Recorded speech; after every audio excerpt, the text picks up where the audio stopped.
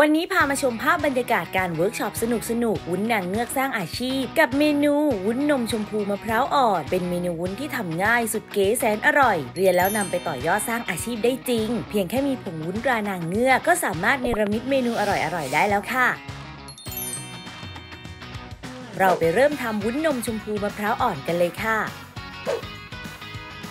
เริ่มที่ตักผงวุ้นตรานางเงือกลงในภาชนะ ตามด้วยเกลือป่นเสริมไอโอดีน น้ำมะพร้าวน้ำหอมคนให้เข้ากัน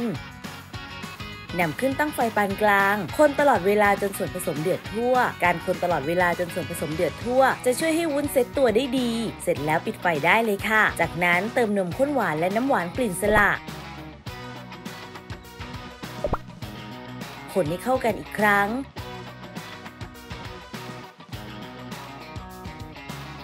ตักส่วนผสมวุ้นที่ได้ลงในลูกมะพร้าวอ่อนที่เตรียมไว้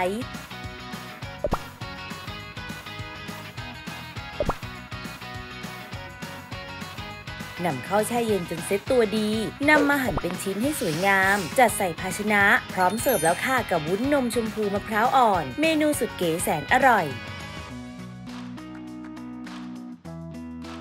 ส่วนใครไม่ได้มาเรียนแต่อยากได้สูตรดีๆ แบบนี้ไปต่อยอดสร้างอาชีพ เข้าไปดูสูตรย้อนหลังได้ที่ YouTube Channel ยิ่งสักฟู้ดทีวีได้เลยค่ะ และอย่าลืมกดติดตามทุกช่องทาง เพื่อไม่ให้พลาดการแจ้งเตือนข่าวสาร การเข้าร่วมกิจกรรมดีๆ แบบนี้นะคะ พงวุ้นตรานางเงือกสนับสนุนคนไทย เรียนจริง รู้จริง มีอาชีพที่มั่นคงค่ะ